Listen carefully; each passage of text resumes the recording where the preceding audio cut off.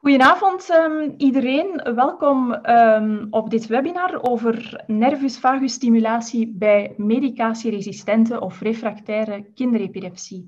Een hele mond vol. Um, ik ben Stefanie, een van de oprichters van het Steunpunt Kinderepilepsie.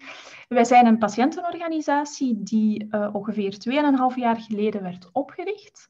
En wij luisteren naar, informeren en ondersteunen uh, gezinnen die een kindje hebben met medicatieresistente epilepsie.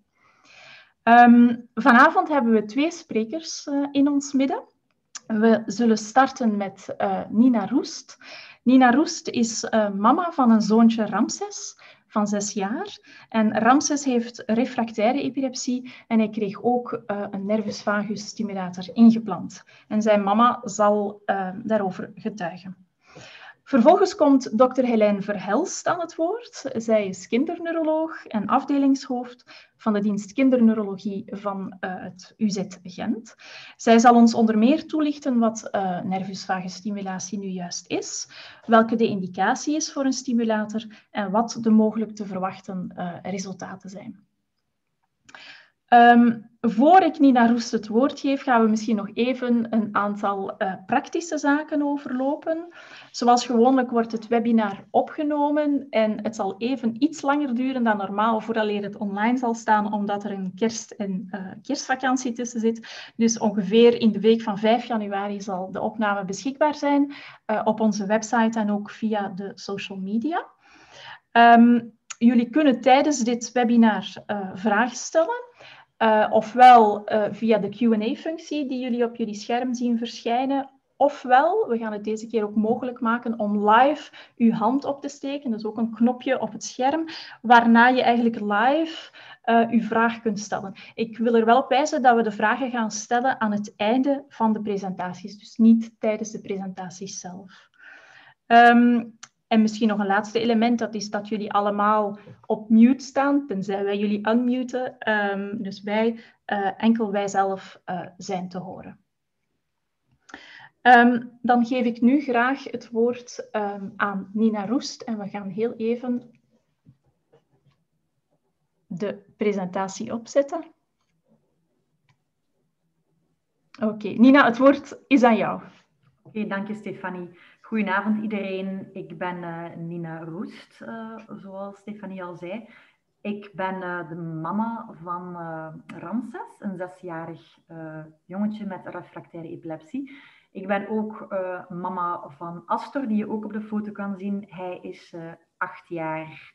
Um, ja, Astor is een, een knuffelaar, een, een gevoelige en heel aanwezige jongen, zot van dino's en van cijfers. En onze Rams is onze jongste. Dat is een hele vrolijke jongen, uh, impulsief, luid, uh, maar ook super lief. Uh, twee pittige jongens bij elkaar, die elkaar heel graag zien, maar eh, het botst helaas vaker dan het klinkt. Ehm, en daar heeft helaas die epilepsie ook wel wat mee te maken. Um, Ramses is eigenlijk uh, ja, ge geboren. Uh, Ramses is eigenlijk een, een, vrolijke, blije, gemakkelijke baby in het begin. Um, de bevalling was niet gemakkelijk, dus de start was niet zo goed. Uh, Ramses was een sterrenkijker, dus hij is van moeilijk ter wereld gekomen. er was ook een langere opname door verhoogde bilirubine. Maar nadien was er eigenlijk uh, de eerste maanden geen vuiltje aan de lucht. Um, pas als hij negen maand was, um, dat was hij op 5 september 2015, uh, eh, kreeg hij zijn eerste aanval. Um, het was uh, op een zaterdag. we waren eigenlijk allemaal thuis en ik was hem eten aan het geven. ik weet nog goed dat het wortelpuree was, dat is mij altijd bijgebleven. En ze waren buiten op het terras aan het werken. Aan, uh, de aannemers waren bezig. En ik werd even afgeleid door een van de aannemers. Uh, en toen ik terugkeek, was Ramses helemaal opzij en buiten, uh, buiten bewustzijn. Uh, ik dacht dat hij stikte in, in zijn puree. Dus, dus uh, ik, we probeerden wat manieren om die stukjes eruit te halen. Ehm, vooral Tim eigenlijk, Tim is mijn man. Ehm, ik was eigenlijk vooral in blinde paniek. Ondertussen belden de aannemers ook naar de ambulance. Ehm, en helaas, ja, dat duurde toch wel even. En Ramses begon ertussen ook blauw te zien. Uh, hij ademde eigenlijk al een hele poos niet. Ehm, ik dacht eigenlijk echt dat ik, dat ik Ramses kwijt was op dat ogenblik. Ehm, ondertussen hoorden we ook, kregen we instructies ook van uh, de nooddienst. Um, en heeft Tim uh, hem, mond op mond beademd. En uh, uiteindelijk is zij beginnen overgeven en is zij eruit geraakt. Um, dat, heeft hele, dat hele voorval heeft eigenlijk ettelijke minuten geduurd. Dat was zeer beangstigend. Um, maar aan een epileptische aanval dachten we eigenlijk op dat ogenblik niet. Uh, we, ik dacht, ja, we dachten dat hij gestikt was, dat er iets vast zat in zijn keel. Maar toch, mijn buikgevoel zei toen al van, god, dat is toch iets heel raar. Dat is een, eigenlijk een rare reactie van een kind. Als hij eten in zich heeft, als hij zich verslikt, dan zou hij toch uh, op een bepaalde manier moeten reageren en niet zomaar um, ja, apathisch erbij hangen. Maar dat was dus eigenlijk, dat bleek zijn uh, eerste epileptische aanval te zijn. Um, diezelfde avond zijn wij nog doorverwezen naar het uh, ziekenhuis in Zottegem ter observatie. En daar heeft hij dus zijn tweede en zijn derde aanval gekregen. Um, diezelfde avond werden we nog met de ambulance naar het UZ Gent gebracht. Um, en daar vrezen ze eigenlijk voor een herpes encefalitis, omdat het uh, broertje van Ramses, Astor, had een koortsblaas op dat ogenblik. Um, maar eigenlijk toen heeft Ramses uh, geen aanvallen meer gedaan nadien. Hij is twee weken opgenomen om die medicijnen te krijgen voor die, uh, voor die herpes encefalitis. Dat bleek het niet te zijn, maar de aanvallen bleven ook weg. Dus eigenlijk waren wij nog vrij gerust en hoopten wij dat dat hoofdstuk afgesloten was. Um, maar helaas, een paar weken later kreeg hij nog, kreeg hij een, eerste, kreeg hij nog een aanval. En dan um, een twee, twee aanvallen per dag, drie, vier en zo veel verder. En uiteindelijk is hij kort na zijn eerste verjaardag uh, opnieuw in het ziekenhuis beland in het um, UZ Gent. Um, de aanvallen werden toen steeds erger, hij raakte niet onder controle. Um, uiteindelijk deed hij ja, tientallen aanvallen per dag. En is hij uh, ook overgebracht naar de intensieve afdeling. Um, in die periode werden heel veel verschillende medicijnen gepro geprobeerd. Ik heb het nog eens opgezocht in het verslag. Phenobarbital, tepakine, tegretol, frisium, dormicum. Um, en uiteindelijk kreeg je dan een combinatie van uh, ospolot, mogadon, depakine, luminal, kepra en prednisolone. Een hele cocktail. Um, en bij de meeste medicijnen was er eigenlijk een korte verbetering, maar na verloop van tijd ja, kwamen die aanvallen er altijd uh, weer door. En bij de opstart van de prednisolone kregen we eigenlijk een eerste goede verbetering. Um, en intussen hadden we eigenlijk in die periode niet enkel een, een zwaar ziek kind erbij gekregen, maar ook een kind waarbij we zijn gedrag zagen veranderen. Uh, hij begon te bijten, te slaan, was niet meer zo vrolijk, was ook apathisch.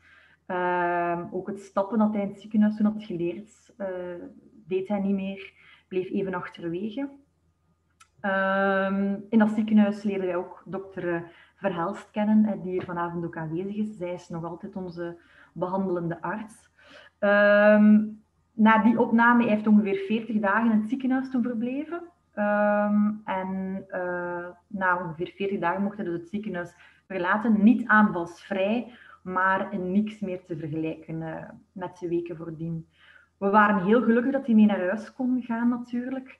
Uh, maar we waren ook wel angstig in het begin. Um, waarom? Omdat Ramses tijdens zijn aanvallen deed hij uh, en doet hij nog altijd apneus. Hè. Toen waren dat echt lange apneus. En ook zijn hartslag, die zakte diep. Hè. Dus hij deed toen ook uh, vrij veel aanvallen in zijn slaap. Dus ook op momenten dat wij aan het slapen waren. En dat, dat beangstigde ons. En dat beangstigt ons nog wel altijd. Op dat ogenblik konden wij geen monitor meekrijgen van het ziekenhuis. Uh, en hebben wij een privé-monitor gehuurd, maar dat werkte niet goed. Dat gaf veel valse alarmen. Uh, en we hebben dat toen na een maand uh, opgegeven en teruggebracht. Um, en de maanden daarop, dat waren er van ups en downs eigenlijk. Hè. Uh, sommige momenten ging het goed, maar heel vaak waren er ook weer ziekenhuisopnames, omdat de aanvallen, uh, het aantal aanvallen weer de spuigaten uitliep. Eerst één aanval, dan weer clusters van drie, clusters van vijf, clusters van tien aanvallen. Uh, waarbij je uiteindelijk moet zeggen van nee, nu gaat het echt niet meer om hen thuis te houden. En je, je verlegt je grenzen ook altijd. En kwamen er weer um, ziekenhuisopnames. Um, we hebben een heel grote verbetering gemerkt bij de opstart van taloxasiroop. Dat is ook het uh, enige medicijn dat hij nu nog neemt. Dat is uh, opgestart ongeveer een klein jaar na zijn eerste aanval. Dat is een medicijn dat niet zo evident is, dat niet zo vaak uh, wordt gebruikt. ook omdat dat niet terugbetaald wordt onder de vier jaar en dat dat pas na een hele reeks andere medicijnen mag gegeven worden van het RISIF. Maar dat leek wel uh, Ramses zijn redding te zijn geweest. Hij is toen naar een aanvaardbaar uh, aantal aanvallen gedaan van, van 1 tot uh, 3 per nacht. Um, hij deed er op dat ogenblik bijna geen meer overdag, nu ook niet.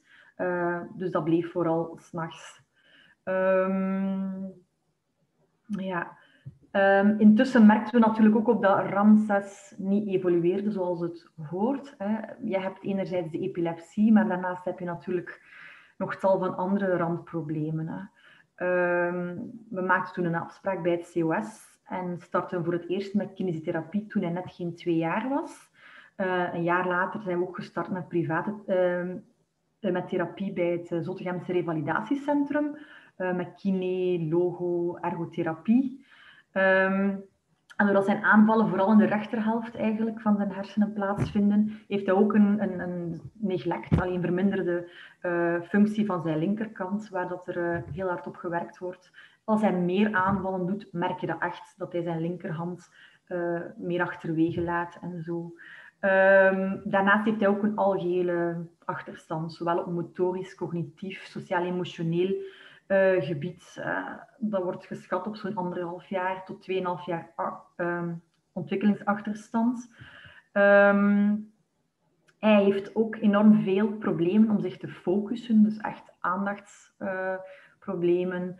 hij is daarnaast ook ongelooflijk impulsief. Um, dus het is een kindje dat heel veel aandacht vraagt.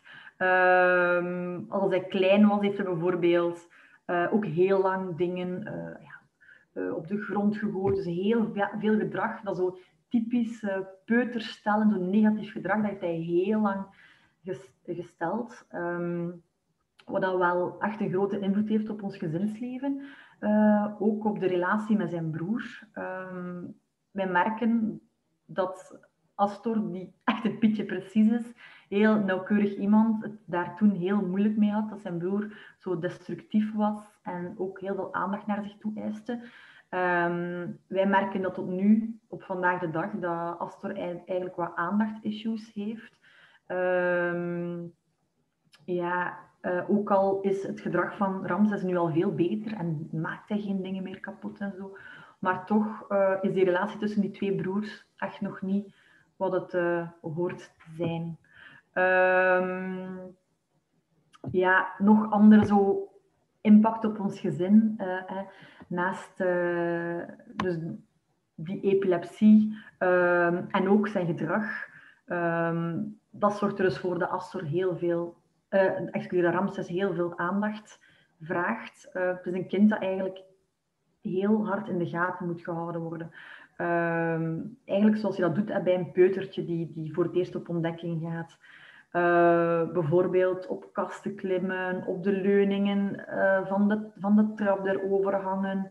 Uh, dat gevaar echt niet inschatten. Eh, een klein voorbeeldje van, van vorig jaar, geloof ik. Um, ik, Ramses was buiten aan het spelen. Het is een kind dat heel graag buiten speelt, heel graag actief bezig is, in de tuin werkt. Uh, maar uh, ik, ik moest heel even naar het toilet. Ik kan echt niet langer dan twee minuten binnen geweest zijn. En in die tijd was hij op het dak van de buren, de garage van de buren geklommen.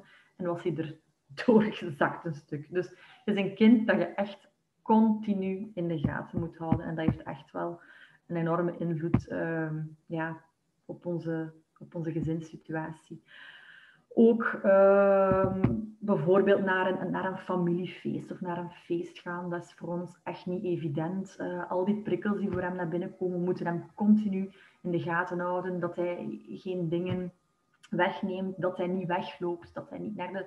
Ehm, en dan valt ons op eigenlijk hoe, hoe, hoe, zwaar dat we het eigenlijk niet hebben in, in, onze opvoeding. Als we soms alleen thuis zijn, dan denken we, oh ja, het valt toch wel mee, of het is toch wel veel verbeterd.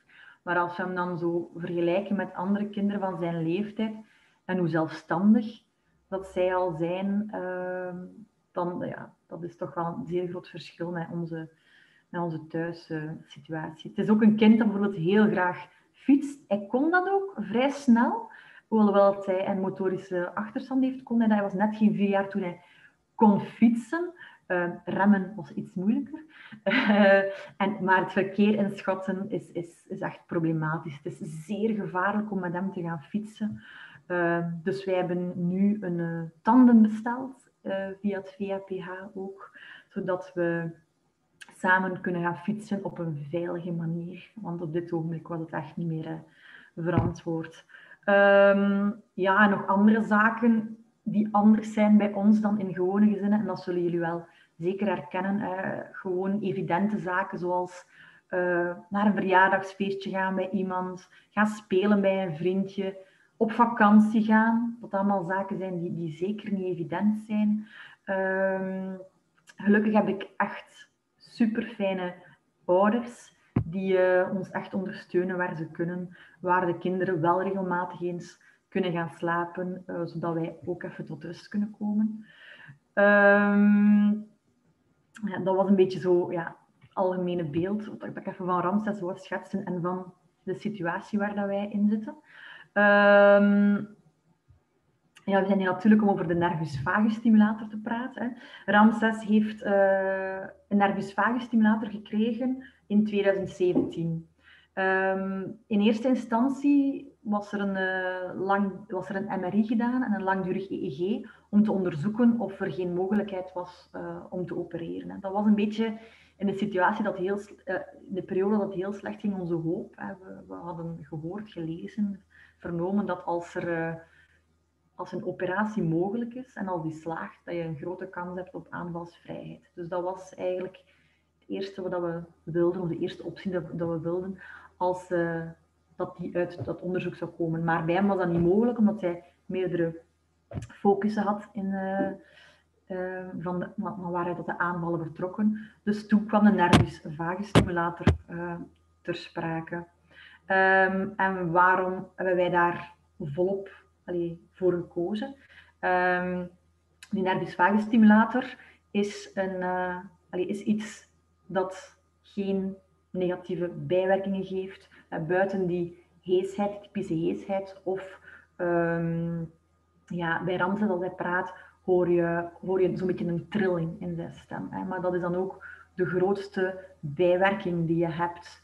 Um, er was een zeer grote positieve bijwerking. Uh, een bijwerking waar je de persoon die een nervus vagus stimulator krijgt, je wat beter doorvoelt en wat, wat gelukkiger. Omdat het wordt nu ook al uh, gebruikt, als ik me niet vergis, of, of in onderzoek voor depressie. Hè. Dus ik dacht, goh, als dat de bijwerking is, dan willen we dat zeker proberen. Um, zelf was ik wat angstig voor de verdoving um, en voor de operatie zelf. Ik denk dat dat ook iets is um, wat dat wel vele ouders herkennen. Het, is toch, het is toch nog maar weer een ingreep, het is toch nog maar weer eens een verdoving. Um, zelf heb ik voor mezelf ook schrik van verdoving. Dus dat is, uh, dat is iets wat al eigen aan mij is. Um, dus dat was eigenlijk mijn, mijn grootste angst. Niet het feit dat hij een litteken zou hebben.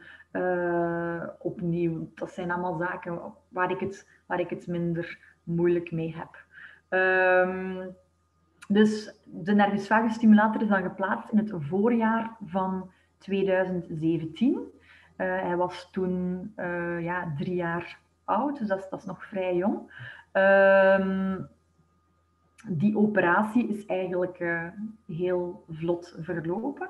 Ehm, nou ja, um, voordien, ik ben vrede te zeggen, voordien hadden we natuurlijk ook eerst nog een gesprek met de, met de arts, die de, met de persoon die de operatie zou uitvoeren. Uh, zij lieten dan heel duidelijk zien wat is het toestelletje, uh, wat zijn de gevolgen, maar ook ze lieten al heel duidelijk zeggen van kijk, verwacht er geen wonderen van. Hè, het is geen wondermiddel, aanvalsvrijheid, die kans is niet groot. De kans um, dat er verminderingen is van de aanvallen, die heb je wel. En ook um, de verminderde intensiteit hè, van de aanvallen, die is er ook. Maar oké, nu naar de dag van de, van de operatie. Dus de operatie was heel vlot verlopen. Er was gepland dat, we, uh, dat hij een paar dagen uh, zou worden op, allee, opgenomen ter observatie nadien. Maar eigenlijk is hij die dag zelf, die avond zelf, nog naar huis gekomen. Dat uh, was een grote verrassing dat Tim hier ineens stond met Ramses. Um, zij is heel vlot hersteld, heel weinig last gehad van de narcose. Um, en hoe, ja, daarna um, ga je een paar keer, de maanden nadien, een paar keer terug naar het ziekenhuis. de intensiteit van het toestelletje kan worden aangepast. Dus je begint op een vrij zacht niveau.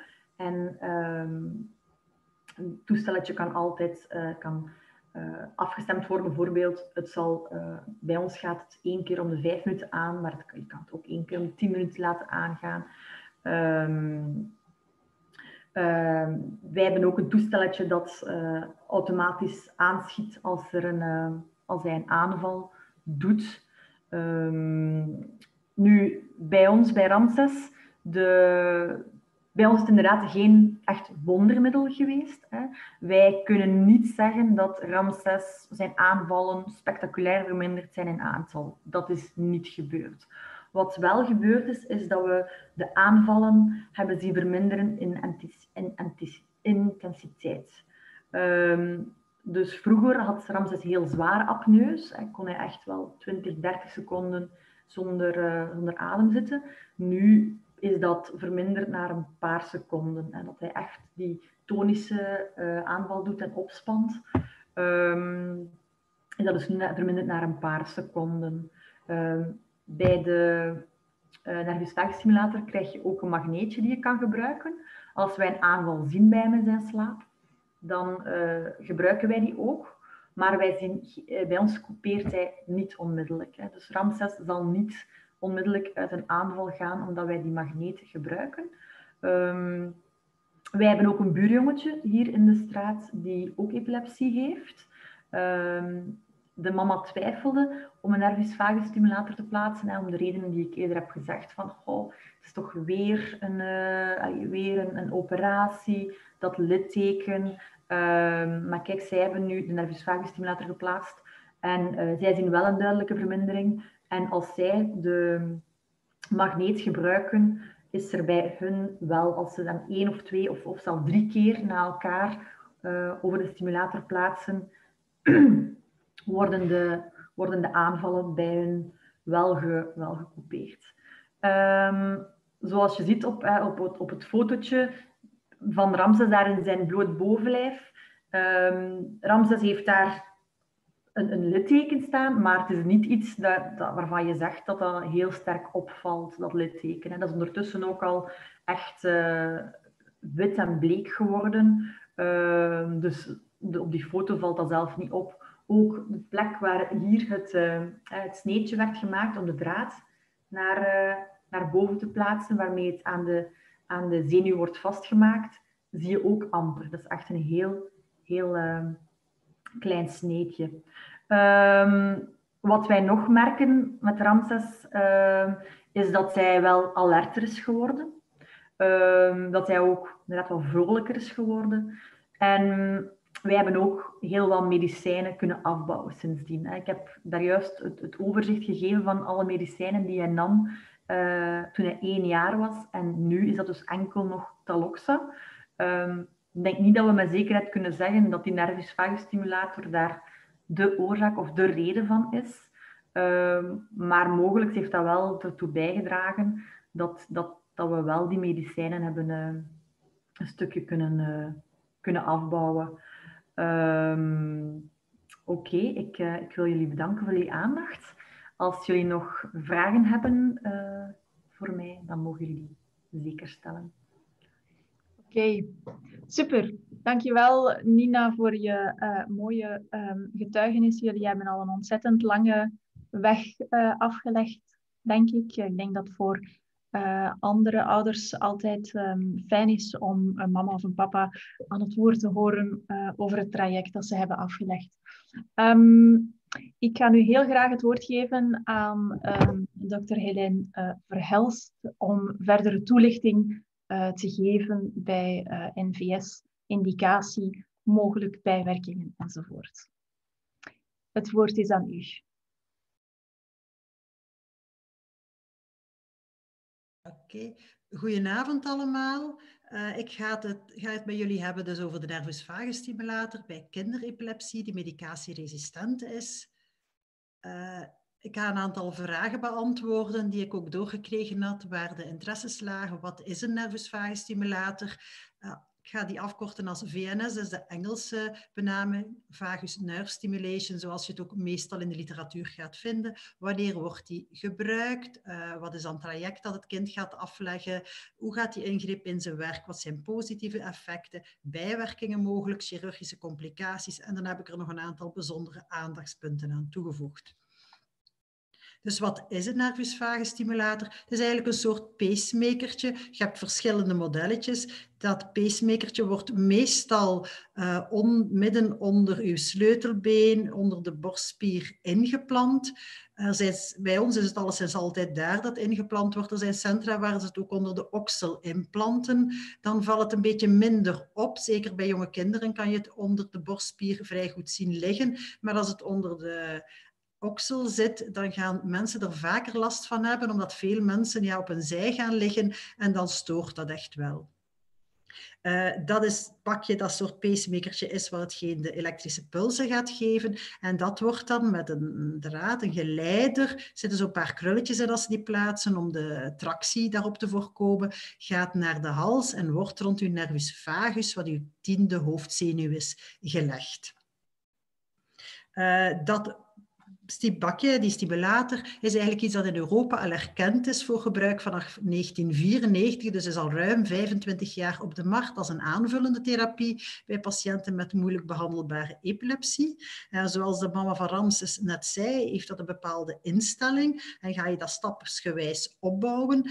Uh, dat bakje instellen, dat kan je uitwendig doen met een soort, ja, we soort overstaf. Je houdt daar iets voor, daar zit ook magneet in en dan ga je dat, je verbonden met deze iPad die ik in mijn handen heb, kan je dat instellen. En instellen begint met stroom te geven aan dat bakje en normaal ga je dat in kleine stapjes doen. Uh, dat begint met een output van 0,25 mA en dan ga je opbouwen over een week op 6 tot 1,5 mA.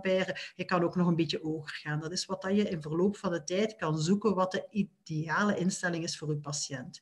En dan, dat toestelletje gaat ook niet constant afvuren. dat zei mama van Ramses ook al. Klassiek gaat die vijf minuten afstaan, 30 seconden stimuleren. Vijf minuten af, 30 seconden stimuleren en dat komt dan ongeveer op 10% van de tijd stimuleren. Je kan wat minder gaan stimuleren, je kan ook meer gaan stimuleren en in dit tabelletje kan je dan zien wat zo'n beetje de keuzemogelijkheden zijn van sneller en sneller te gaan stimuleren of, of minder lang aan te zetten en dan kan je ongeveer tot 50% van de tijd gaan stimuleren. Nooit meer, want dan ga je de zenuw gaan overbelasten. Uh, hoe werkt dat dan dus? Uh, van hier gaat een elektrische puls naar de zenuw rond uw vagus. En dat is hier dan symbolisch, die linker vagusstimulator. Er zijn eigenlijk twee elektroden die rond de zenuw gaan zitten. Die ene elektrode is de, is de negatieve elektrone en die genereert een actiepotentiaal.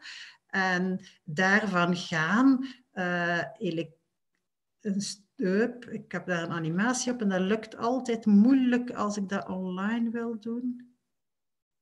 Ja, maar er gaan signalen van richting van de hersenen uitgaan en er gaan ook signalen richting van het lichaam uitgaan. En daarom zit daar een tweede elektrode die eigenlijk die signalen gaat blokkeren, zodat er heel weinig signalen zijn die nog naar het lichaam gaan doorgaan.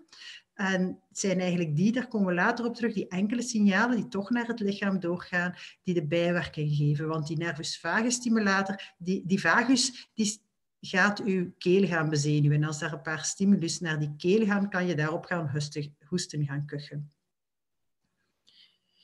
Uh, wat wordt er bij die vagustimulator nog bijgeleverd? Dat is een magneet.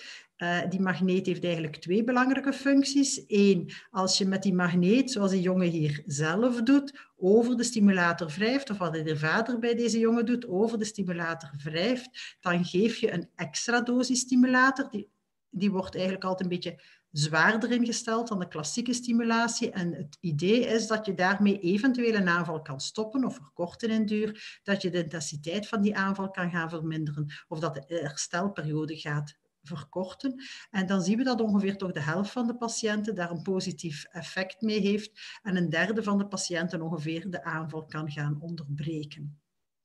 De magneet kan je ook gebruiken om tijdens een titratiefase, meestal hebben kinderen daar geen last van, maar soms moeten ze wel even wennen iedere keer aan die hogere output, aangezien je de magneetfunctie altijd een beetje hoger zet, om die af en toe eens te gaan gebruiken, om al progressief te gaan wennen aan die hogere dosis.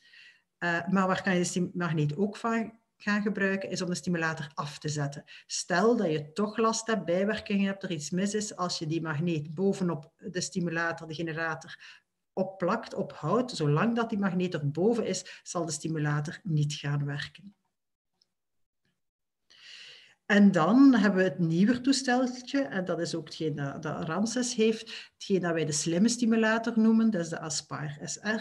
Die heeft naast die standaardstimulatie, dus die vijf minuten af, 30 seconden aan, 5 minuten af, 30 seconden naast. En naast die magneetfunctie, die je dus zelf in de hand hebt en kan gaan stimuleren, ook nog een automatische stimulatiemodus. Wat de bedoeling is, dat als er een aanval opkomt, dat toestelletje dat zelf gaat weten en gaat stimuleren. Op welk idee werkt dat? Ongeveer een 80% van de mensen met epilepsie hebben bij het begin van de aanval een plotse versnelling van hun hartslag toestel gaat ook de hartslag meten. En als er zo'n plotse versnelling van die hartslag is, gaat de stimulator een extra stimulus geven in de bedoeling van die aanval te gaan stoppen, te verkorten of te verminderen in ernst. En we zien duidelijk dat mensen die dit toestel hebben ingeplant een additioneel positief effect hebben ten opzichte van de oudere types. Hoe werkt die nu dan echt technisch, zo'n VNS-stimulator? Uh, er zijn verschillende wegen dat die elektrische puls zal in gang zetten. Eén, die elektrische puls geeft een invloed op de expressie van neurotransmitters. Dat zijn de chemische stofjes waarmee dat eigenlijk de zenuwcellen met elkaar communiceren. En neurotransmitters die epilepsie gaan onderdrukken, zullen meer aanwezig zijn. Neurotransmitters die epilepsie gaan uitlokken, zullen minder aanwezig zijn. Er zal ook een betere doorbloeding komen van de hersenen, uh, vooral in de thalamus, maar ook in de hersenschors, de cortex, wat een belangrijke plaats is, want daar ontstaat uw epilepsie. Uiteraard zal die elektrische stroom ook effect hebben op de elektrische activiteit van uw hersenen. En bij epilepsie is het zeer synchroon en die elektrische activiteit zal gedesynchroniseerd worden en daarmee uw EEG doen herstellen. En er is ook een effect op ontsteking in de hersenen door norepinefrine dat vrijkomt. En dat allemaal samen is bewezen dat het een anticonvulsief effect heeft.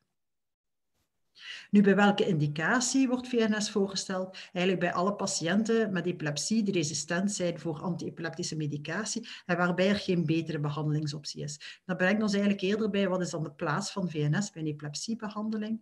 Nu, als iemand epilepsie heeft, dan starten we in principe met een eerste medicament en gaan we proberen met monotherapie één enkel antiepileptica de epilepsie onder controle Lukt dat niet, dan gaan we naar een tweede medicament en liefst ook nog altijd monotherapie. We gaan het eerste afbouwen, een tweede opbouwen. Lukt dat niet, dan gaan we richting combinatietherapie. Uh, twee samen, maar soms rijden we ons erop in drie, vier, vijf samen, wat absoluut niet ideaal is. Maar dat wil zeggen, we hebben een epilepsie die resistent is aan medicatie. En dan gaan we naar andere middelen moeten gaan denken. Nu, bij hoeveel procent van de mensen is dat? Uh, als iemand met epilepsie zich aanmeldt en wij gaan een eerste antiepileptica voorschrijven, dan zal 50% van de mensen daarop reageren en aanvalsvrij worden.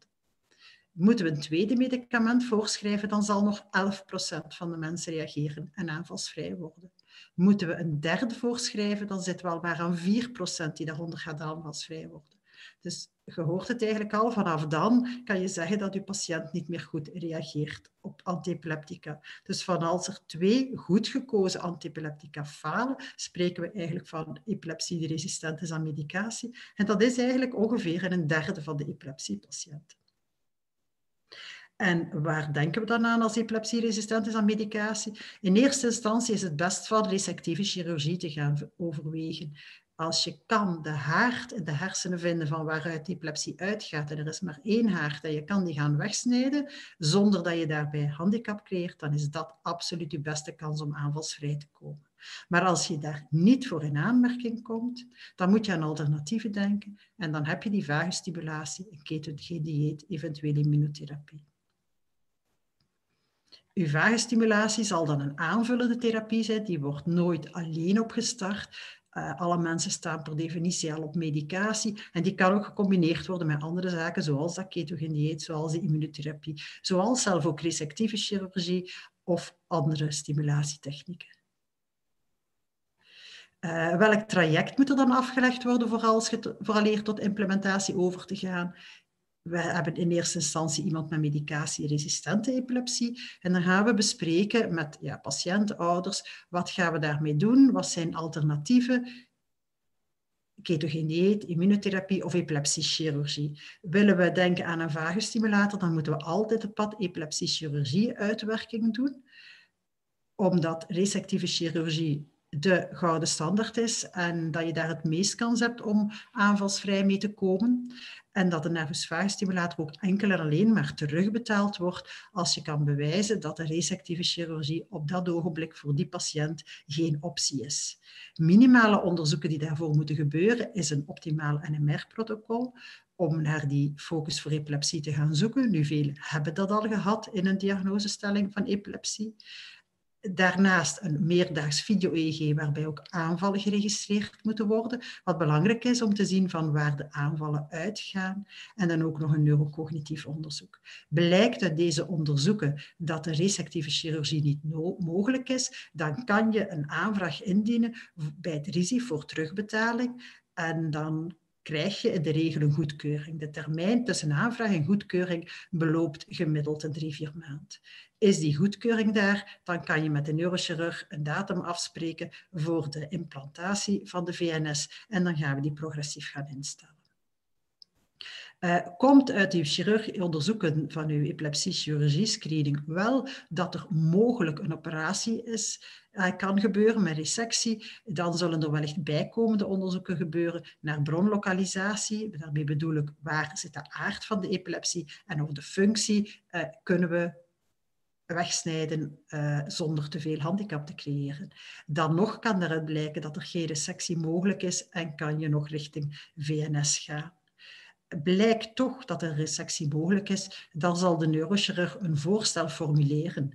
Maar dan gebeurt het nog dat mensen om een of andere reden zich helemaal niet kunnen voelen in dit voorschrift, het voorstel van operatie, en kan nog altijd een aanvraag ingediend worden, maar dan op gronden van er is wel een mogelijkheid, maar om die en die reden ziet de patiënt het niet zitten. Een aanvraag voor een VNS kan enkel gebeuren vanuit het referentiecentrum voor refractaire epilepsie. En in Vlaanderen wil dat dan zeggen bij ons in het UZ Gent of in het UZ Leuven. Hoe gaat dan die ingreep in zijn werk? Uh, er zullen altijd twee insneden zijn, één boven het sleutelbeen en dus meestal één onder het sleutelbeen of alternatief meer naar de oksel toe. Dit gebeurt met een korte opname, meestal één, maximaal twee nachten. In de regel komen de kinderen de avond voordien binnen, uh, worden ze in de voormiddag geopereerd en het gebeurt dat ze de dag zelf naar huis gaan, de laatste de dag daarop. Het is op zich een korte ingreep, maar gebeurt wel onder algemene narcose en duurt 1 tot maximaal 2 uur. Hier op deze foto zie je de insnede in de hals en de insnede, deze is iets meer opzij richting oksel toe, uh, waar het apparaatje, het pacemakertje zelf, de generator zal ingeplant worden en de geleidingsdraad wordt dan doorgeschoven tot de hals. En dan zie je ze hier in de hals aan het opereren. Daar gaat die rond de zenuw gelegd worden. Hier zie je de vagus mooi vrij geprepareerd en dan zie je uh, de elektrodes aan de bovenkant en de elektrodes aan de onderkant. Hè. De elektrode die het signaal naar de hersenen zal geven en de elektrode die de signalen zal stoppen om niet naar de keel toe te lopen. Wat zie je dan na de operatie? Die twee littekens, hier zijn ze nog vers en dus rood, maar effectief, die worden altijd wit. Uh, de VNS gaan we opstarten als die sneden vrijwel genezen zijn, na één tot vier weken. Meestal doen we dat een week of twee nadien. Uh, littekens eens genezen, altijd best masseren met de hydraterende crème en zes maanden uit de zon houden, zodat ze niet bruin worden. Meestal wachten wij dus inderdaad die 1 à 4 weken. Dat is in het ideale verhaal. Uitzonderlijk kunnen we dat wel sneller doen, want we hebben ook al zo'n vagestimulatoren in spoed ingeplant op intensieve zorg als we met de rug tegen de muur stonden. Dan, wat zijn de mogelijk te verwachten positieve effecten op aanvallen? Hier uh, is een grote studie van kinderen met refractaire epilepsie, uh, die uit het ziekenhuis ontslagen worden met verschillende type behandelingen. De paarse lijn is met medicatie. En hier zie je eigenlijk het aantal dat nog aanvalsvrij blijft over verloop van tijd. En dan zie je dat medicatie eigenlijk het slechtste doet. De groene lijn is het aantal kinderen dat geopereerd is, waar de epilepsiehaard is weggehaald. En daar heb je de grootste kans op lange termijn aanvalsvrij blijven. En onze VNS zit daar ergens tussen. Beter dan bij refractaire epilepsie. De medicatie, niet het wondermiddel. Uh, klassieke operatie, altijd nog beter hier een aantal studies op een rij, effecten op lange termijn, op het aantal aanvallen ook. Uh, moet opletten als je zo'n studies bekijkt, dan spreken zij eigenlijk als responders, kinderen die een goed effect hebben, als kinderen met een aanvalfrequentiereductie van minstens 50%. Dat wil dus lang niet zeggen dat die allemaal aanvalsvrij zijn, ver van, maar je ziet uh, dat toch uh, de helft tot een ruime meerderheid, uh, tot hier bijna 70% op lange termijn, wel een aanvalsfrequentievermindering heeft van minstens 50%. Maar hoeveel wordt er dan aanvalsvrij? Dat is wat moeilijker te zeggen. Uh, dit is een grafiek, een tabelletje uit een heel positieve studie. Daar zaten 28 kinderen, 24 maanden opvolging op, waar dat men zei 14, 14% aanvalsvrij.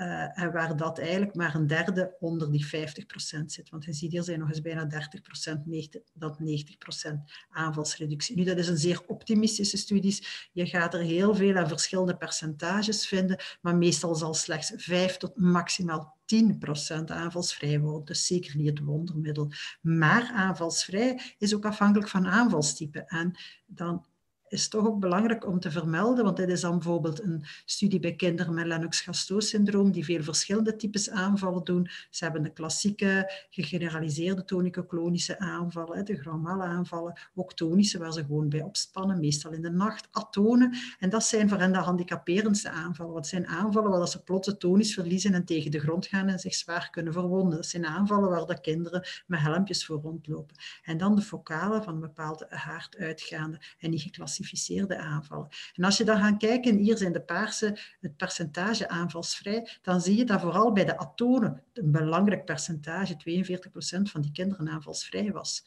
Terwijl op die focale geen enkel kind aanvalsvrij was. Maar als atonen aanvallen wegblijven bij een kind met Lennox-Gastaut, die dus geen aanvallen meer doen, dat die plots tegen de grond gaat, dan is dat een enorm effect op het levenscomfort. Als we dan ergens in een globale studie zouden kijken van kijk, dit kind heeft bijvoorbeeld 90%, heeft nou maar 10% aanvalsreductie, maar het is niks aan reductie op de focale, maar al zijn atonen zijn weg, ja, dan is dat toch een serieuze winst. Dus altijd moeilijk dus om al die data naar het individuele comfort van de patiënt te gaan bekijken. Hier een andere studie van kinderen met Dravet-syndroom. Uh, de SCN1A-mutatie, de kinderen die vooral bij koortsaanvallen doen, maar dan ook zonder koorts en die ook heel vaak van die gegeneraliseerde tonische klonische insulten hebben. En hier gaat het alleen over dat type aanvallen en dan zie je dat hier op 12 kinderen 9 de, boven die 50% respons zitten, maar zelfs twee ook weer aanvalsvrij, twee boven nog een keer 90, nog twee boven de 80. Dus dat die zwaardere aanvallen wel beter reageren dan de lichtere aanvallen. Dus ook weer daar uh, behoorlijk effect op hun levenscomfort. Dat is een studie die een beetje toont van ja, uh, effect op aanvallen kan afhankelijk zijn van de onderliggende oorzaak, van het aanvalstype. En dan bij heel veel oorzaken zie je een wisselend percentage dat meer dan 50% reductie heeft. Maar uiteindelijk kan je het wel bij alle uh, oorzaken van epilepsie gaan proberen. Wat er wel uitspringt met een heel goed effect zijn kinderen met tubereuze sclerosecomplex. Maar ook kinderen met hersenverlamming, genetische, metabole aandoeningen met een goede reactie. En dan ook van aanvalstype. Het hangt er ook een beetje vanaf van welk aanvalstype dat je gaat hebben. Hoeveel de kans is dat je gaat uh, reageren. Vooral hier de kinderen met een zuiver focale epilepsie, met enkel focale aanvallen, hebben het beste effect. En dan nog iets belangrijk uh, is dat we zien als we naar de kinderen met nervus stimulator gaan kijken naar een effect dat hoe jonger de kinderen zijn, is de responsrate van kleiner dan 5 jaar en hier 15, 10 tot 15 en groter dan 15 jaar, dat de jongere kinderen beter gaan reageren uh, dan de oudere kinderen op de nervus stimulator. En dat heeft meest waarschijnlijk ook te maken met de duur dat ze al epilepsie hebben. Hoe langer een epilepsie uh, niet goed geregeld is, hoe moeilijker ze je ze uiteindelijk nog onder controle gaat krijgen. Dat geldt eigenlijk een beetje voor alles. Uh, hoe langer dat je wacht ook met een ketogeen dieet, hoe slechter je respons zal zijn, hoe langer dat je wacht met resectieve chirurgie. Dat wil eigenlijk, leert ons eigenlijk dat we bij jonge kinderen toch wel rap moeten doorwerken van het medicament naar het andere gaan. Lukt het niet, dat we dan moeten in vraag stellen, gaan we niet naar operatie toe, uh, resectief of nervus vagus, gaan we naar een ketogeen dieet toe. En dat we dat niet jaren moeten laten aanmodderen, waar dan vroeger eigenlijk de vagus vaak bij oudere kinderen uh, gestoken werd, maar technisch kan dat nu ook al bij jonge kinderen. Dus we moeten daar zeker niet te lang mee wachten. Uh, positieve effecten, dus ik heb het nu vooral gezegd, uh, gesproken over de reductie in het aantal aanvallen. Uh, het is niet enkel het aantal aanvallen, dat heeft de man van Ramses ook al verteld. Het is ook verminderen in ernst van aanvallen, verminderen in duur van aanvallen, soms ook een kortere herstel, herstelperiode na de aanvallen. En een ander iets is dat effect op lange termijn ook nog kan gaan verbeteren. En dat tonen deze studies ook aan, waar dat je hier ziet, het lichtblauwe, een kortere herstelperiode na de aanvallen toch in een 30 tot 40 procent zelfs van verminderen in ernst van de aanvallen, ook bij een kleine 40 procent verminderen in de duur van de aanvallen, ook bij een goede 40 procent. Dus dat zijn effecten die ook wel heel regelmatig gezien worden. En dan op lange termijn, dat is hier de gemiddelde afname van de aanvallen bij de VNS, na zes maanden maar 36 procent in deze studie. Je ziet dat oplopen, dat na tien jaar dat veel meer is. Dus hoe langer het toesteltje werkt, hoe beter de resultaten zijn. Hier op een andere manier weergegeven, de paarse en de groene zijn de beste antwoorders. Je over verloop van tijd meer en meer percentage van de kinderen die een goed effect hebben. Uh, dus een heleboel positieve effecten, aanvalsreductie, reductie in de ernst, reductie in de duur. Maar los daarvan zijn er ook nog wat extra effecten die het algemeen welbevinden van de patiënt gaan uh, positief beïnvloeden belangrijk iets is de stemming. Heel veel kinderen zullen aangenamer en vrolijker worden. De activiteitsgraad, lijken ook ja, minder passief, meer energie, meer zin in het leven. En ook de cognitie gaat vaak verbeteren met een betere aanleerbaarheid. Uh, dit kan rechtstreeks zijn allemaal door uw VNS en een deel onrechtstreeks, omdat het bij een groot deel van de kinderen ook lukt om medicatie te gaan afbouwen en dat dan bijwerkingen gaan wegvallen. Hier komt dat dan uh, weergegeven van een studie, waar dat je ziet welke van die positieve effecten, hoeveel percentage kinderen dat gaan hebben, beter effect, beter geheugen, meer zelfredzaamheid, betere schoolsprestatie, verbale communicatie, een uh, vrolijkere gemoedstoestand. En dan zit wel rond de 40% meer energie, betere concentratie. En absoluut het meest gemelde in een ticket 60% van de kinderen is een verhoogde alertheid. Soms zien we ouders komen en zeggen ze ja, goed effect van die vaagstimulator. En als we dan het dagboekje bekijken van epilepsie, is er niks veranderd. Dus ook die effecten kunnen zijn los van epilepsiecontrole. En dan, wat zijn de bijwerkingen? Ja, die bijwerkingen komen dus door die, die, die elektrische pulsen die toch richting van uw uh, bezenuwingsgebied van uw vagus gaan. En de frequente bijwerkingen, uh, waar dat we wel bijna bij iedereen iets van zien, is wat heesheid, verandering in de stemtoon, hoesten, kriebelend gevoel in de keel of in de nek, soms een beetje kortademigheid. Zeer zeldzame bijwerkingen die je ook op de bijsluiter gaat lezen, maar die ik nog nooit zelf gezien heb. Evenwichtstoornissen, maagklachten, misselijkheid, braken, verminderde gevoeligheid, slapeloosheid, spasmen van het strottenhoofd, pijn, slaapapneu-syndroom. Dat zal je lezen als je een bijsluiter ziet van de VNS, maar dat zijn zeer, zeer zeldzame zaken. Eigenlijk zijn het alleen die frequente bijwerkingen waar dat je rekening mee moet houden. En hier zie je die ook in percentage weergegeven over verloop van de tijd. Lichtblauw na één jaar, groen na twee jaar, paars na drie jaar. Dan zie je dat die heesheid in het begin echt wel heel frequent voorkomt, maar het tweede jaar al minder en het derde jaar nog veel minder. Hoesten is ook een frequente bijwerking, maar een heel stuk minder frequent, neemt ook af. Die kriebel in die keel neemt ook af en, en verdween in deze studie zelf. En de kortademigheid neemt ook duidelijk af. Belangrijk daarbij te beseffen is dat die bijwerking doorgaans enkel optreden tijdens de stimulatie. Dus als toestelletje 5 minuten afstaat, 30 seconden aan, 5 minuten af, 30 seconden aan, zal het tijdens die 30 seconden zijn dat je de heesheid hoort. En dat kan je echt horen als mensen aan het praten zijn, als uh, liedjes zingen, de kinderen, dat die stem plots omslaat. Die bijwerkingen nemen dus in principe bijna altijd af na verloop van tijd. Het is ook omwille van die bijwerkingen dat we die stimulator niet direct op die output van anderhalve milliampère, waar we naartoe willen gaan zetten, maar dat we dat langzaam ophogen, zodat het lichaam daaraan kan wennen. En als er toch te veel bijwerkingen zijn, kunnen we met de instelling van het toestelletje wel een beetje spelen om die alsnog uh, ongedaan te maken of toch duidelijk te verminderen dat ze niet storend zijn. Uh, is dus eigenlijk wel een, veilig iets. Het is ook 25 jaar in gebruik. Er zijn al meer dan 100.000 mensen die het uh, gebruikt hebben wereldwijd. Dus we zijn zeker niet aan het proefstuk toe met een vagenstimulator. In tegenstelling tot medicatie is er geen interactie mogelijk met andere medicatie of voedsel. Uh, zijn er ook geen gevallen beschreven van een plotse toename van onverwachte sterfgevallen door epilepsie. Uh, bij dierexperimenten ook geen enkel effect op vruchtbaarheid of volgeboren kinderen. En van de kinderen die al voorgekomen zijn uit zwangerschappen met VNS zijn er ook nog nooit problemen gemeld. En heel belangrijk voor mensen die, die wat weigerachtig zijn naar chirurgie. VNS is geen hersenchirurgie. Hè. Het is in de hals en, en, dan onder de borstspier dat ingeplant wordt, maar men raakt de hersenen absoluut niet. En het is ook een omkeerbare techniek. Als je de hersenen gaat snijden, dan uh, ja, hoopt je en hebt je natuurlijk dat altijd goed gewikt en gewogen, maar dat er geen nadelige gevolgen zijn. Ja, ben je van de generator niet tevreden, dan kan je die gewoon afzetten. En de magneet kan je eigenlijk ook ten alle tijde gebruiken om af te zetten. Stel dat je toch eens in een ongelooflijke hoestbui komt, een kriebel in de keel en, en er veel last van is, uh, hou die magneet voor de vagustimulator en die zal stoppen. Chirurgische complicaties, uh, buiten wondinfecties heb ik er zelf nog geen gezien. Als je pech hebt, dat kan met ieder implantaat zijn, kan dat apparaatje gekoloniseerd worden door bacteriën en dan wordt het langdurig antibiotica of zelf uithalen. Hè. Dat wil je liefst niet zien, maar dat is iets dat met alles dat geïmplanteerd wordt in het lichaam kan gebeuren. Tijdens operatie, aangezien ze aan de vagus, vagus werken en die je hart ook stimuleert, kan het gebeuren dat de hartslag wat vertraagt. Maar dan is er een anesthesist daarbij en dat vangen ze wel op. En dan natuurlijk, je kunt bij iedere operatie bloedingen hebben. En als er iets rond de zenuw leggen, zouden ze die kunnen beschadigen, ook de bloedvaten en de zenuwen in de buurt.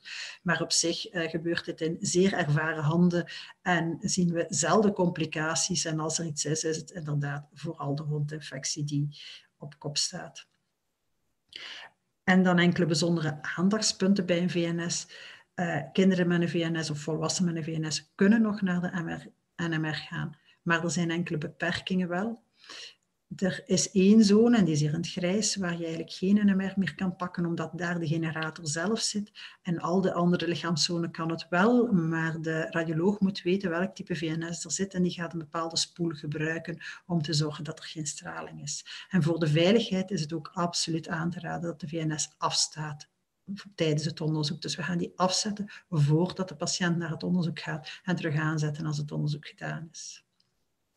Dan, dit is een toestelletje dat op een batterij werkt en batterijen hebben een beperkte levensduur. Er zit uiteraard een hoogwaardige batterij in en die gaat wel lang mee en gemiddeld zo drie tot tien jaar afhankelijk van de instelling. Het is evident dat als we die maar om de tien minuten laten aanslaan, dat die langer meegaat dan dat we die zetten in een rappe cyclus en dat die alle minuten aanslaat. Nu, als de batterij leeg is, dan zit er niks anders in dan die generator te vervangen en dit is operatief. Dit wordt weer één incisie, maar dat gebeurt dan op dezelfde plaats dan waar je het bepaalt, geplaatst. Dus dat is geen bijkomend litteken. Voor een vervanging moet ook weer een terugbetaling aangevraagd worden. En die kan pas aangevraagd worden op het ogenblik dat bij het uitlezen aangegeven wordt dat de batterij bijna leeg is. Dat duurt dan uiteraard niet zo lang, dat is kwestie van een aantal weken. Uh, wat had ik dan nog genoteerd als bijzondere? Ja, heel uitzonderlijk, maar dat is meer bij volwassenen, is er een linker cervicale vagotomie gebeurt. Men doet dat soms bij mensen met maaglast. Dan kan je natuurlijk geen stimulator meer plaatsen. De autostimulatie, modis optie, uh, die dus zelf de hartslag gaat meten, uh, kan je niet gaan gebruiken bij mensen met hartritmestoornissen of mensen die al een cardiale pacemaker hebben, maar ook uitermate zeldzaam bij kinderen. Je kan de stimulator gebruiken samen met andere stimulatoren, maar dan is wel enige voorzichtigheid geboden. Uh, een ander belangrijk punt wel is, eens dat je een VNS hebt en je wordt geopereerd, dan kan geen diathermie meer gebruikt worden. Dat is het toeschroeien van bloedvaatjes om te voorkomen dat er uh, veel gebloed wordt tijdens een operatie. Nu, dat kan helemaal omzeild worden. De chirurg kan andere technieken gebruiken, dat is op zich geen probleem. Maar het is wel belangrijk van als er een ingreep gaat gebeuren, steeds te vermelden dat er een eh, VNS geïmplanteerd is. En dan iets totaal anders, praktisch. Worden dus inderdaad die magneten bijgeleverd. Dat zijn zeer sterke magneten. Je bewaart die best niet in de buurt van je bankkaart, van een computer, televisie, horloge, een magnetron of zo. Want zij kunnen voorwerpen beschadigen. Die magneten zijn niet schadelijk voor de mens, maar alles dat magnetisch werkt, kan gedemagnetiseerd worden. Ik denk dat dat was. Uh, ik ben bereid om een vragen te beantwoorden als er nog tijd is. Oké, dankjewel, um, dokter Verhelst, voor uw um, helder um, overzicht. was behoorlijk uh, compleet, denk ik. ik heb een aantal vragen zien binnenkomen. er zijn een aantal mensen die hun hand in de lucht hebben uh, gestoken. ik zal nu even aan een van de betrokkenen vragen toelaten om haar vraag te stellen. Dus we gaan heel even wachten om te zien of de persoon in kwestie de vraag stelt. Um, ik zag uh, in de presentatie immunotherapie aan bod komen. Wat is dat precies? Uh, een immunotherapie, dat wil zeggen ja, eventueel cortisone of um, immunoglobulines geven. Uh, vooral, ja, cortisone is, wordt ook gewoon gebruikt bij jonge kinderen. Ramses had dat ook gehad, uh, waar dat, dat ook wel rechtstreeks op de hersen kan werken. Maar uh, we weten meer en meer over epilepsieën die ontstaan na infectie, na een of ander iets dat een soort inflammatie in het lichaam geeft en waar dat auto-antilichamen tegen de hersenepilepsie veroorzaken.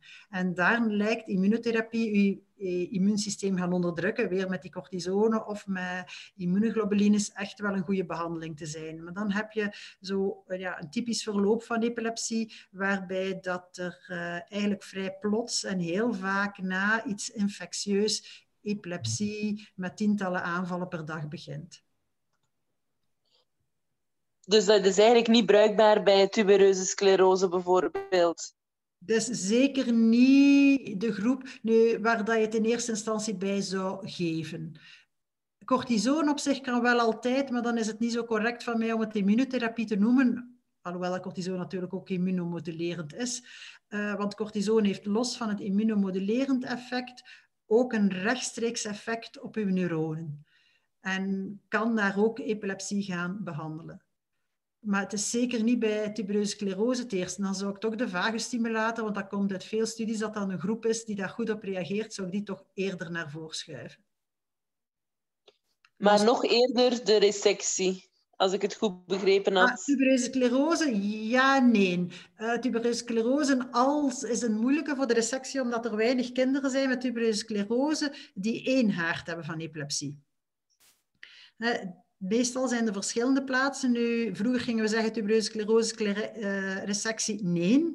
Uh, omdat ze per definitie meerdere letsels in de hersenen hebben. Dat is zeker niet meer waar. Uh, het is zeker een goed punt van toch te proberen uit te werken en te zien of er niet toch één haard is die heel dominant is en heel veel epileptische aanvallen veroorzaakt, dan kan het zeker de moeite zijn van toch resectief te gaan opereren.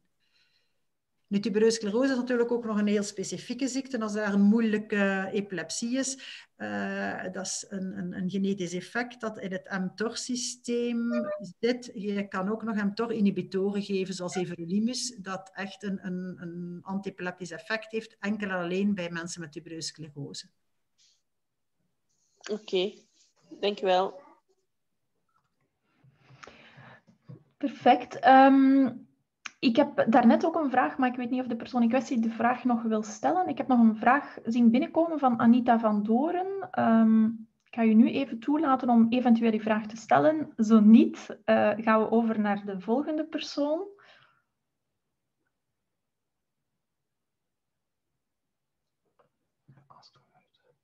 Oké, dan gaan we over naar de volgende persoon. Ik hoor uh, Anita van Doren niet. Um, ik ga nu even uh, Peggy Villet aan het woord laten. Ik denk dat het Peggy nu mogelijk is ja. voor u om een vraag ja. te stellen.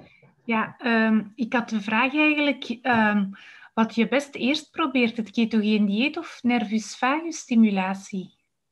Als je weet dat resectie niet kan.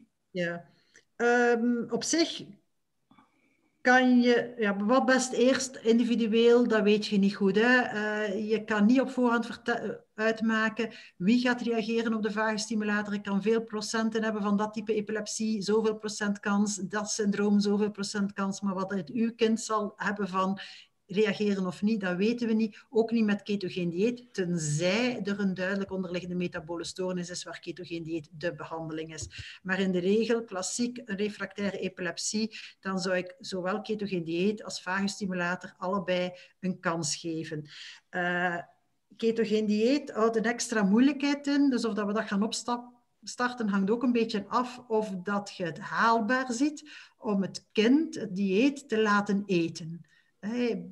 Het is zeker niet evident. Sommige kinderen, ja, de kinderen gaan naar school, gaan naar revalidatiecentra, komen op andere plaatsen en ze mogen geen koekjes uit de boekentas van een vriendje pakken of een ketogeen dieet. Lukt niet meer. Dus dat is sowieso iets om te bekijken van is het haalbaar voor het kind en is het ook haalbaar voor het gezin om voor die voeding in te staan. Maar als ketogeen dieet haalbaar is en vagustimulator een optie is en we zitten op het punt van we hebben een therapieresistente epilepsie en we zijn beiden aan het overwegen, dan zou ik voorstellen uh, we zetten de, de uitwerking epilepsiechirurgie in gang. Ze gaan toch altijd eerst kijken, is het resectief mogelijk, is het niet mogelijk. We doen aanvraag VNS, maar dat duurt drie, vier maanden tegen de goedkeuring hebt. Dus het moment dat je beslist, we gaan starten met epilepsiechirurgie uitwerking voor eventueel vagustimulator en die wordt ingepland, daar zit al rap een half jaar tussen. Je hebt tijd om je ketogeen dieet ondertussen te proberen. Ah ja, dus als je negatief advies hebt, resectie, ketogeen dieet en intussen aanvraagt nervus Maar je kunt al beginnen met je ketogeen dieet als je begint uit te werken voor epilepsiechirurgie. Je moet niet wachten tot negatief advies resectie. Daarom, want ook een uitwerking voor resectieve chirurgie duurt. Het duurt zelf nog langer dan uw VNS vaak, want dan gaat uw eerste, uw, uw EEG, uw NMR, gaat tonen van, ja, het lijkt allemaal wel van dezelfde plaats te komen. We zien ergens iets locatie op NMR en dat lijkt overeen te komen, maar dan gaan ze nog onderzoeken, nog onderzoeken. Daar is een hele weg te gaan tegen dat we een heel duidelijk, klaar en veilig voorstel kunnen geven voor chirurgie. En ondertussen mocht je niet stil blijven zitten. Kunt je nog met medicatie proberen ook, maar heb je tijd om op het gemak een ketogeen dieet te proberen. Als je een ketogeen dieet een zestal weken aan het aanhouden bent, weet je of dat werkt of niet werkt. Ja. Je hoeft daar geen tijd, je moet daarom niet zeggen wat eerst uh, epilepsiechirurgie uitwerking, of het resectie is of vagus, dat vraagt tijd. En je hebt tijd genoeg om ondertussen je ketogeen dieet te proberen. Ja, oké, okay, dank je. Oké, okay, perfect. Ik heb um, nog een vraag zien binnenkomen van uh, Miet Neteson. Ik denk, Miet, dat jij nu je vraag zou um, moeten kunnen stellen. Uh, hallo, het is de echtgenoot van oh, Miet. Oh, excuseer, want ik zie Miet Neteson. Ja, inderdaad. Ik, ik, we zijn hier verzameld. okay. Ik vroeg mij gewoon af, uh, er zijn ongeveer 100.000 Um, ja, ingrepen geweest eigenlijk, maar wereldwijd. Maar hoeveel in België en hoeveel in het UZ eigenlijk in Gent? Ik kan u geen exact aantal geven, maar dat zijn er in het UZ Gent ook al honderden en bijna honderd kinderen daarvan ook. Want zijn al heel, de laatste jaren zijn er ook heel veel kinderen geïmplanteerd, de jongste vijf maanden. Dus daar is zeker heel veel ervaring. Uh, als ik nu consultatie doe met een epilepsiepatiënten, moet ik meermaals per week mijn bakje gaan halen om een vagus bij te stellen. Het is ja. eigenlijk bijna dagelijkse kost dat we een vaguspatiënt zien passeren. Het is een soort routineoperatie eigenlijk dan? Het is qua neurochirurgie, het is een neurochirurg die het doet, hè, maar het is rond die zenuw. Qua operatietechniek moet je daar echt niet uh, van wakker liggen. dit is voor de neurochirurg een van de makkelijkere ingrepen. Mhm. Oké, okay, dank u wel. Oké, ehm, ik denk niet dat er nog mensen live een vraag willen stellen. Ik heb nog wel een vraag zien binnenkomen in de Q&A. Um, de vraag is, als de stimulator, ik denk dat ik zelf het antwoord weet, want mijn dochter heeft ook een stimulator, wanneer de stimulator afgezet wordt door bijvoorbeeld hoest, hoe de stimulator terug aanzetten. Maar ik zal dokter Verels laten antwoorden en zien of dat mijn, mijn uh, idee juist is. Als de stimulator afgezet wordt door dus waarschijnlijk bedoelt de betrokkenen, we zetten hem af, we, we zetten dus de magneet op de stimulator omdat onze dochter aan het hoesten is. Hoe gaat de, de stimulator dan terug aan? Het antwoord denk ik is vanzelf. Terug af te halen. Ja, maar ik weet niet of dat de vraag was. Misschien is de vraag inderdaad um, uh, toch nog enigszins anders, maar op basis van wat er hier staat. Ja, de ehm, stimulator gaat aan zoals wij die hebben ingesteld en kunt je alleen maar afzetten door de magneet er constant boven te houden. Dus er terug van afhalen gaat hij terug aan. Ja, ja inderdaad. Dat hebben wij ook al verschillende keren getest. Oké, ehm, perfect. Ik heb misschien zelf ook nog um, één vraag en het zal de laatste zijn voor vandaag, denk ik, want ik zie um, niks meer binnenkomen. Uh, we zijn ook al een beetje over tijd. Onze dochter die heeft ondertussen drie jaar een nervus ingeplant gekregen. Um, en in het begin merkten wij dat de magneet wel uh, werkte bij het onderbreken van een zware um, aanval. Want ze heeft verschillende soorten aanvallen, waaronder ook tonisch-klonische aanvallen. En nu zien we dat dat, dat niet meer doet. Uh, en dan denken we, goh, en wat zou dat nu liggen? Is dat nu want ze, doet nog al, ze heeft nog altijd ook tonisch-klonische aanvallen. En dan denk ik, hoe kan dat toch, dat dat in het begin, hè, verdorie, wel werkt om dat te onderbreken en dat dat dan drie jaar later, dat het dat dan niet meer doet. Um, maar misschien is dat een, ja, een heel moeilijke vraag. Is het eerder een bedenking? Ja, maar... Uh, algemeen gezien verwachten we dat de stimulator beter en beter begint te werken. Dus dat pleit daar dan een beetje tegen. Uh, hetgeen ik zou proberen als die echt niet meer werkt, is misschien toch die output van die magneticus een klein beetje nog omhoog zetten. Mhm. en, en, en zien of dat niet een wenning is aan de stroompuls en dat we met een hogere puls niet meer kunnen bereiken. Mhm. Ja. Dat, dat, wat dat kan, maar drie jaar is nog, nog kort bij, maar wat dat ook kan gebeuren, is dat door die, die zenuw vaak gestimuleerd wordt. Dat, eh, en daar al een tijdje ook zit natuurlijk, dat, dat weerstandje rond die zenuw in het lichaam, dat er zo wat, wat, wat litteken, wat weefsel tussen komt en dat die stroom van je elektrode ook minder goed doorgaat naar de zenuw. Mm Dat je gewoon iets meer nodig hebt. Maar het kan ook gewoon zijn dat, ja, zoals een epilepsie aan medicatie kan resistent worden, dat die aan de VNS ook wat resistent wordt, alhoewel we dat niet vaak zien, hè, dat de cijfers op langere termijn meestal tonen dat het beter begint te werken. Mhm. Ja, oké. Ja moeilijk om daar inderdaad een eenduidig antwoord op te, te formuleren. Uh, als, nu nog, e-, als u het nog even toestaat, ik zie dat um, de dame die daarnet, we hadden het over de, um, um, bij het hoesten, hè, als, de uh, als de stimulator wordt uitgeschakeld, hoe die dan terug aanschakelen, die persoon vraagt nu het woord. Dus ik ga dat nu uh, even doen. Rosanne Blomme, ik denk dat het nu mogelijk voor jou moet zijn om te spreken. Nee, hij staat nog. Maar je moet wel zelf, um, Rosanne, je moet. Ja, voilà. Ik heb eigenlijk die vraag gesteld omdat ik die vraag kreeg van een student die eigenlijk tijdens zijn examen die stimulator wou afzetten. Uh, om geen uh, hoestbuien of, mm -hmm. of weesheid te hebben tijdens het examen. En die vroeg zich af, ja, als ik daar dan een uur in dat uh, examen uh, en die plaats daar zat of, of bezig was met de professor. Uh, ja, hoe, hoe, hoe gaat dat dan als, als ik... Ik, leg dat, ik zei, je kunt die erop leggen, maar gaat die dan onmiddellijk, als ik dat eraf neem, gaat die dan onmiddellijk terug aanslaan? Ja. Dat was zijn, zijn, ja, zijn zorg, zal ik maar zeggen. Ja. Ja, maar dat is zeker ja. Hè? En het wordt daar effectief ook voor gebruikt. Niet alleen voor de, de bijwerkingen als ze te fors zijn, maar als je ze op een bepaald moment niet wilt hebben. Hè?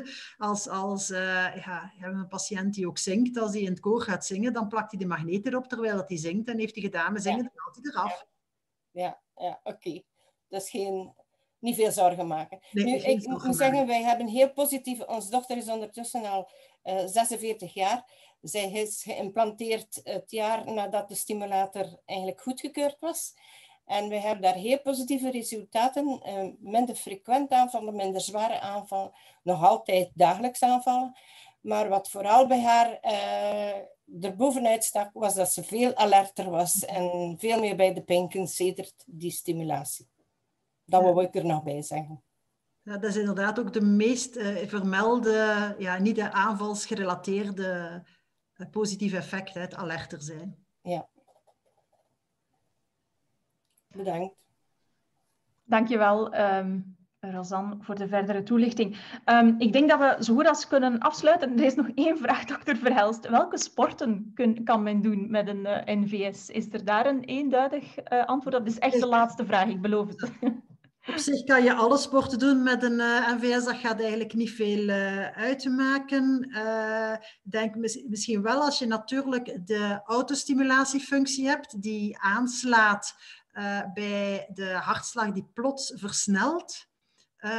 in het idee dat er dan een aanval komt. Als je dan sporten doet waarbij je heel plots actief gaat worden, sprintje trekken bijvoorbeeld, dan gaat die aanslaan. Hè? Dus dat gaat u wel beletten in het heel plots heftige inspanningen doen, omdat dan ook je hartslag omhoog gaat gaan.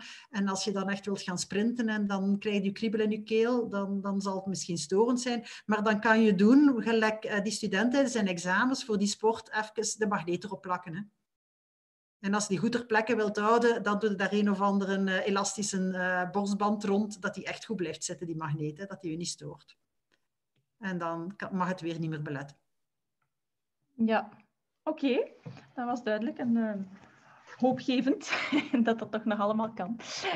Um, Oké, perfect. Het is bijna uh, kwart na negen, dus we gaan hier, uh, hierbij afsluiten. Um, ik wil Nina Roest en dokter Helene Verhelst nog eens heel hard bedanken voor jullie tijd om jullie zo s'avonds laat ook nog vrij te maken om dergelijke presentaties te geven. Um, is verre van evident, uh, denk ik. Ook dankjewel aan ons publiek om um, aanwezig te zijn, om vragen te stellen. Het maakt altijd fijn als het interactief is. Um, rest mij alleen nog om jullie een, het is bijna kerst, om jullie toch fijne, gezellige kerstdagen te wensen, weliswaar in onze kleine bubbel. misschien ook nog heel even meegeven, zoals ik in het begin zei, dat wij dus de opname zullen ter beschikking stellen. En dat wij volop bezig zijn aan ons activiteitenprogramma voor 2021. En wellicht zullen wij nog ook verder gaan met uh, webinars. maar ons programma zal um, van zodra mogelijk beschikbaar worden gesteld op onze website, nieuwsbrief en social media. Voilà, heel hartelijk dank uh, aan iedereen en um, heel fijne avond nog. En graag tot later. Dank u wel. Dag. Dag.